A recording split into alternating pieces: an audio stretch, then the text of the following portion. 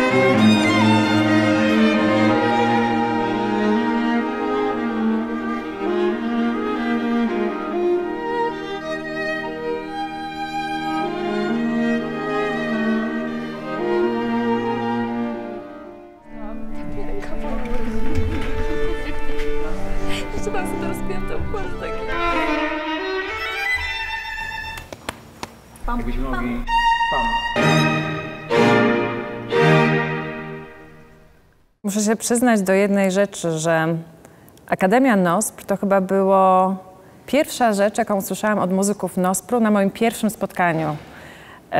Że to jest coś, o czym oni bardzo marzą i to jest coś, co uważają, że powinniśmy robić. To jest takie, znaczy muzycy to też mają, no to jest takie przekazywanie troszeczkę też wiedzy, to myślenie o tym, e, jak to młode pokolenie będzie grało, jak przekazać tę wiedzę. Więc, e, więc tak, więc muszę z z ręką na sercu powiedzieć, nie, to nie byłam ja. To byli, to byli muzycy, e, dokładnie Rada Orkiestru, z którą miałam spotkanie, którzy powiedzieli, że, że chcieliby, żebyśmy coś takiego zrobili. Trzy, cztery, raz. Wychodząc z założenia, że my jako orkiestra, jako NOSPR y, także spełniamy jakąś misję, y, mamy cykl koncertów edukacyjnych y, i to jest jakby rozbudowanie tej oferty edukacyjnej, która pozwala młodym osobom, które jakby no, nie mają bardzo dużo możliwości, jeśli chodzi o zdobywanie doświadczenia stricte orkiestrowego, aby właśnie tutaj uczestnicząc w takim programie, y, troszkę obyć się z, z, właśnie z funkcjonowaniem orkiestry, zobaczyć jak to, jak to jak to wszystko wygląda. Jakieś przyspieszenia spróbujmy.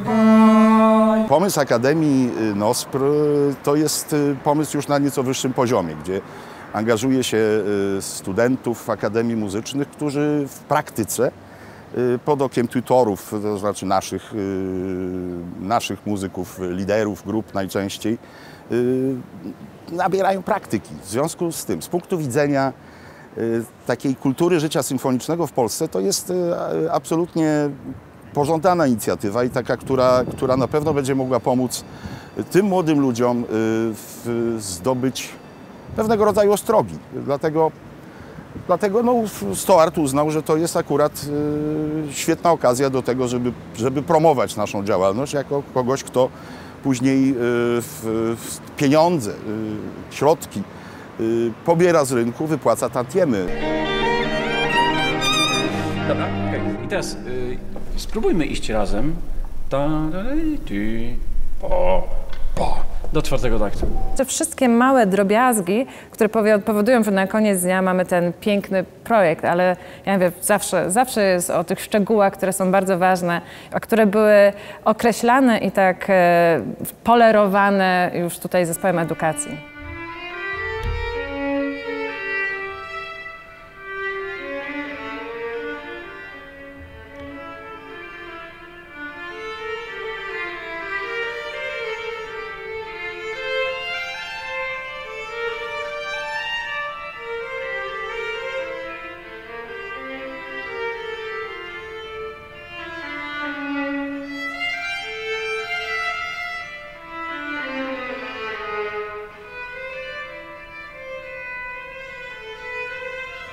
Muzykę. Mm, Tak zostało postawione pytanie, ale właściwie to muzyka wybrała mnie. Sulamita Ślubowska.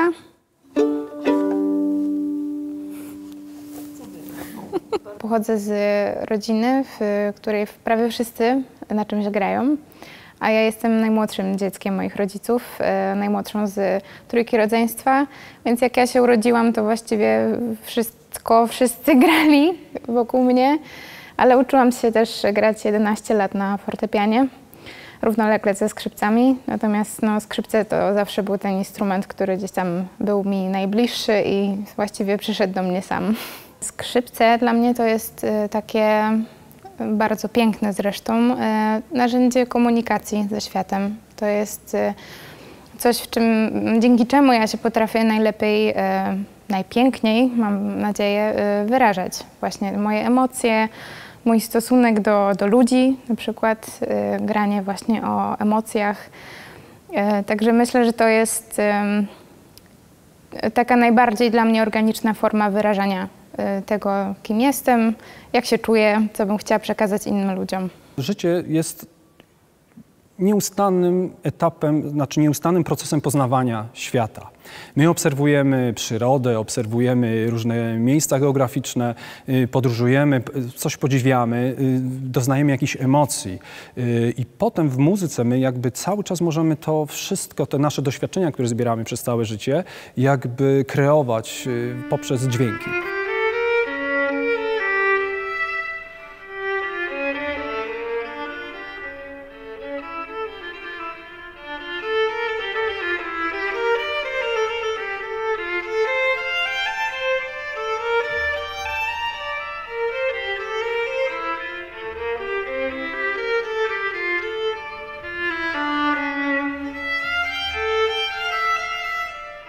Dwa takie występy, które bardzo szczególnie pamiętam. E, pierwszy to jest, e, właśnie odbył się tutaj. E, był to finał międzynarodowego konkursu imienia Karola Szymanowskiego. I w finale tego konkursu mieliśmy zaszczyt, możliwość wystąpienia właśnie z orkiestrą Nospru.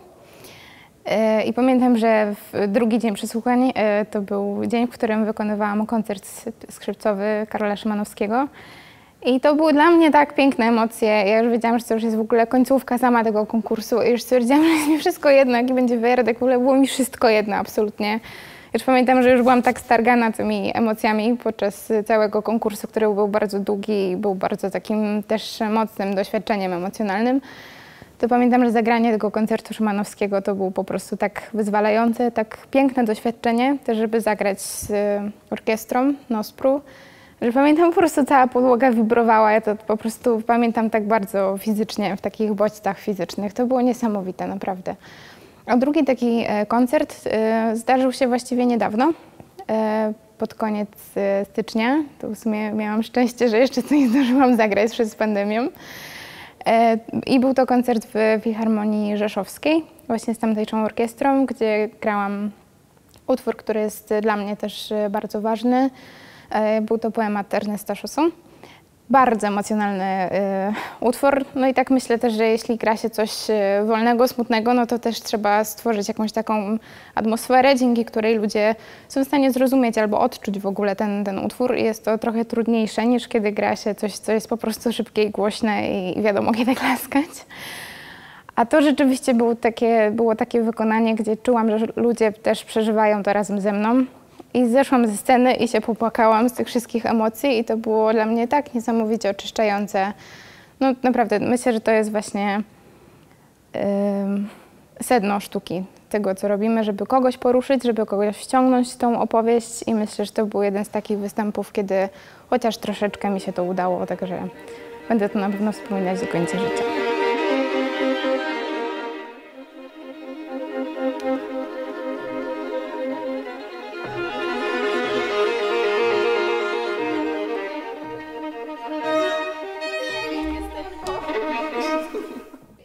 Właściwie to w ogóle się nie zastanawiałam, czy chcę wziąć y, udział w tym projekcie, naprawdę w ogóle. Y, ale to, co mnie najbardziej skłoniło, to jest y, właściwie brak doświadczenia w takim graniu orkiestrowym, bo zdecydowanie jak na swój wiek oczywiście mam więcej doświadczenia solowego i kameralnego i zawsze w tym kierunku się bardzo starałam rozwijać. Natomiast jak popatrzyłam na swoje CV, stwierdziłam, że tego, tego doświadczenia orkiestrowego jest trochę mało.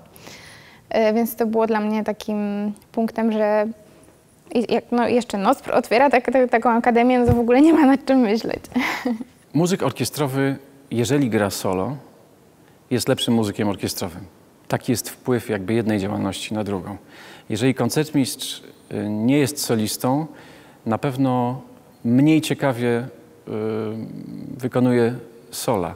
A sola koncertmistrza są bardzo często bardzo wymagające, bardzo trudne, nie tylko techniczne, ale też wyrazowo, żeby utrzymać dobrą formę instrumentalną i żeby dobrze też prowadzić grupę czy zespół.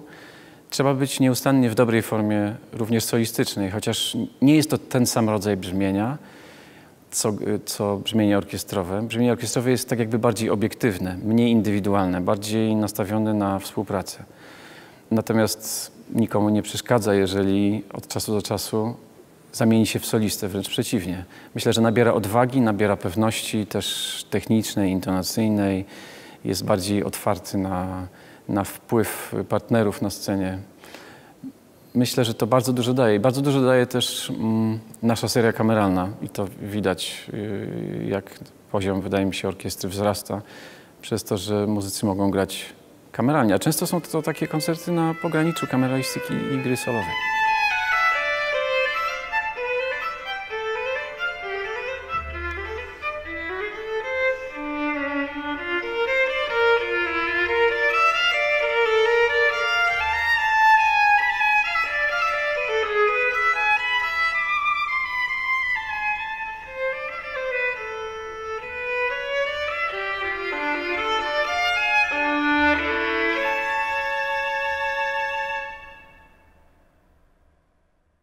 Spotykając tutaj młodych ludzi, adeptów właściwie, chociaż niektórzy są już bardzo blisko takiego poziomu naprawdę profesjonalnego, możemy im zasugerować sposób gry orkiestry, możemy im zasugerować obiektywny sposób gry, e, tak jak y, grywa się to najczęściej, E, ale też zależało nam, e, wymyślając ten projekt, na tym, żebyśmy mieli naszych ludzi tutaj, to znaczy, żeby oni się potrafili podporządkować naszemu stylowi gry, bo Nospr ma niewątpliwie swój styl gry. Pewne mm, wypracowane elementy przez dziesięciolecia, one do dzisiaj są i każda następna osoba, która przychodzi jako, jako nowy pracownik, on się tego po prostu uczy. Nigdy nie jest tak, że my walczymy z przeszłością. My cały czas właściwie kontynuujemy tą przeszłość najlepiej jak potrafimy oczywiście. E, I młodzi ludzie, którzy przychodzą do nas teraz jako akademicy, mają taką okazję, żeby poznać ten styl i mają okazję też pograć z nami, tak jak e, pomysł na oktet, znakomity zresztą, bo lekcje indywidualne to jest e, jakby jedna strona tej pracy, a granie zespołowe to jest druga strona.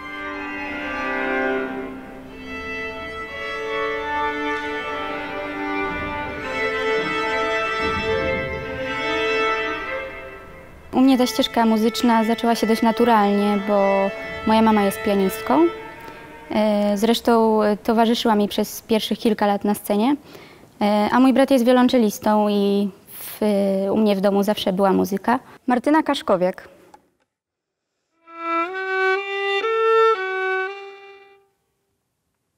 Pamiętam, że jak byłam jeszcze mała i jeszcze nie grałam na żadnym instrumencie, to zawsze siadałam na kolana mamy i e, kładłam jej dłonie na, na jej dłonie i udawałam, że gram razem z nią. Nie było dla mnie nic dziwnego w tym, że ta muzyka jest i mm, nienaturalne byłoby dla mnie, mm, gdybym nie miała tej muzyki w domu. Mama bardzo chciała, żebym grała na skrzypcach, bo jest bardziej, ten instrument jest bardziej wszechstronny. E, Na fortepianie nie, nie można za bardzo grać w orkiestrze, jest potrzebny do nielicznych utworów i skrzypce są po prostu bardziej wszechstronne. No i tak właśnie zostałam skrzypaczką.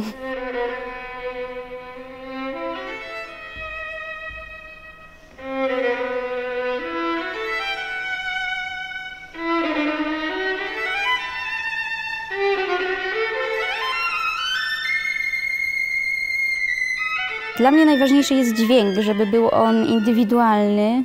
yy, I cenię sobie właśnie yy, ten instrument za to, że jest tak wrażliwy na yy, wszystkie moje ruchy i Mm, Wiele można niuansów uzyskać na skrzypcach. Po prostu piękno jest dla, piękna muzyka to dla mnie taka, która wyraża jakieś uczucia y, szczere. Jeżeli traktuje się sztukę szeroko, ta muzyka staje się też ważniejsza. Wydaje mi się, że dopóki jest e, aktywność i taka miłość do muzyki, dotąd możemy mówić, że ten proces się rozwija. Jeżeli rutyna zajmie miejsce tej fascynacji i stanie się po prostu em, taką formą pracy albo formą y, no, sposobu na życie, to wtedy niestety y, rola muzyka przy obecnych standardach życia i wy- wynagrodzeń może się sta- stać szara i mniej interesująca dla, dla najmłodszych.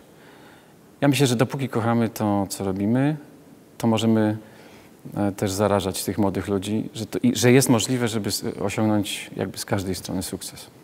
Muzyka jest trochę innym językiem, e, którym można się porozumiewać nawet nie znając e, portugalskiego czy hiszpańskiego, kiedy gra się z innymi ludźmi różnych narodowości, to muzyka jest czymś właśnie, co, co wszyscy rozumieją. I to daje tą jedność i po prostu zdajemy sobie wtedy sprawę, że jesteśmy tacy sami jako ludzie. Najbardziej mi sprawia radość tworzenie czegoś wspólnie z innymi ludźmi, ale chciałabym też założyć e, jakiś kameralny zespół e, z ludźmi, których e, rozumiem i z którymi mam, mamy wspólne cele. Uważajcie w takcie 134, żeby razem skończyć na trzecią wartość, dobra? Że, Wydaje mi się, że mam, macie wszyscy ćwierć, ćwierć nutę. To tutaj musicie, y, tararararam, tutaj nie, nie, nie skończyłyście razem. To weźcie może po, po, podprowadzenie do tego 133.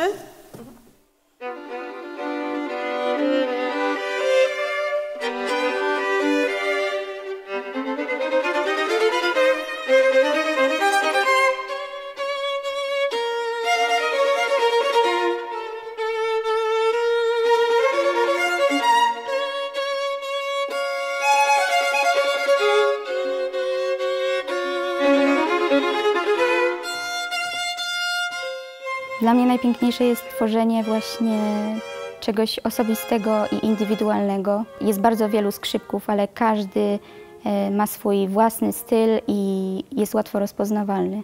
Grając na skrzypcach nie jestem bardzo wylewna, ale y, na pewno przez muzykę wyrażam więcej niż e, rozmawiając z ludźmi.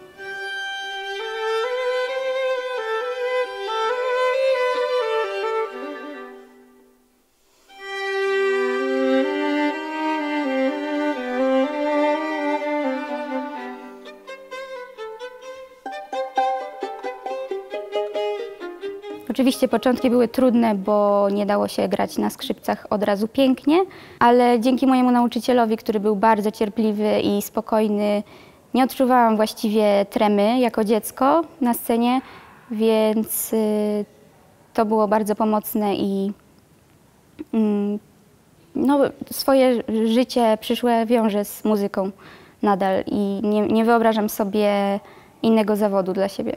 Moim zdaniem, a teraz te akordy ostatnie trzy, które gra, gracie, to musi być króciutko. Pam, pam, pam. I uciekać z tego. I wszystkie y, sforcata, jeśli kie- będziecie to jeszcze grać, to po prostu te sforcata to muszą być takie ukłute igiełki.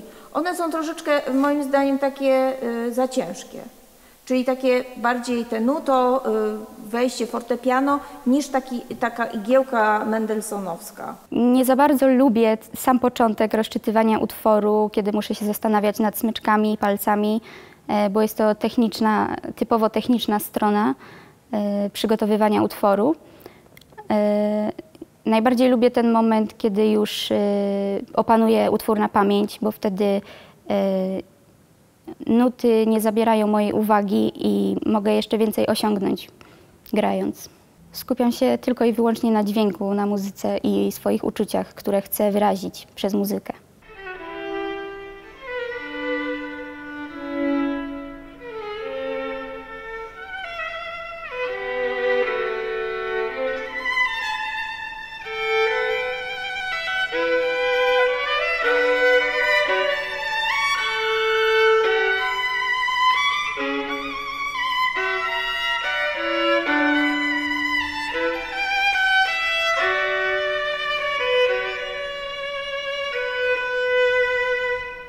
Najważniejszą rzeczą jest chęć dzielenia się.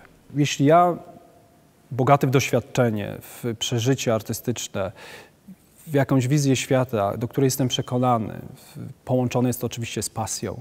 Yy, jestem w stanie podzielić się z tym, z, z młodymi adeptami sztuki muzycznej.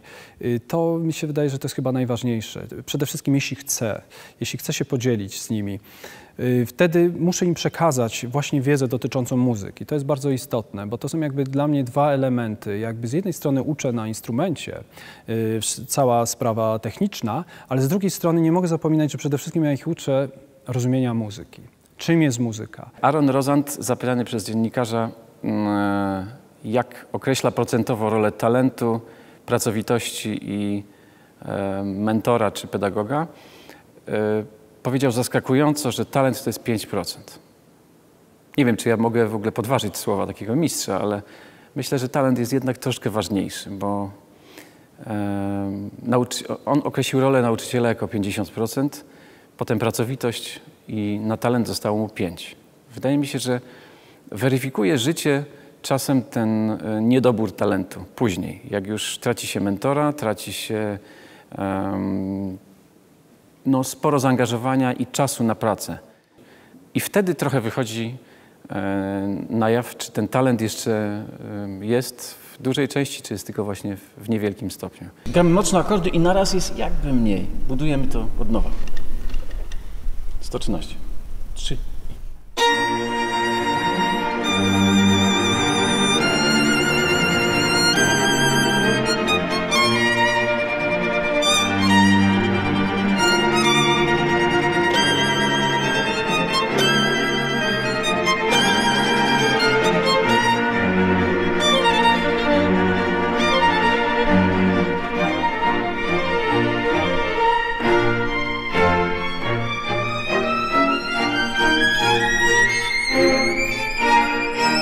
Mówimy o jednej z najpiękniejszych sal w Polsce, jednej z najpiękniejszych w Europie, czy w ogóle na świecie można mówić. Mówimy o świetnej orkiestrze, więc e, ja tutaj wierzę w zupełności, że może być to deprymujące, e, ale również mam nadzieję, że, że to jest takie, że to daje też energię tym młodym muzykom, że jak tutaj zagrają, tutaj e, będą mogli jeszcze bardziej poszerzyć swoje doświadczenie, nauczyć się może nowych rzeczy, to tym bardziej łatwiej im będzie w świecie. Jak się występuje, szczególnie w naszej, naszej pięknej, dużej sali, gdzie sala jest pusta i siedzi tylko parę osób i trzeba wyjść, wyczuć tą przestrzeń, w którym się jest. Ja zawsze mówię trochę tak przytulić się w tej przestrzeni, czy tą przestrzeń i zagrać.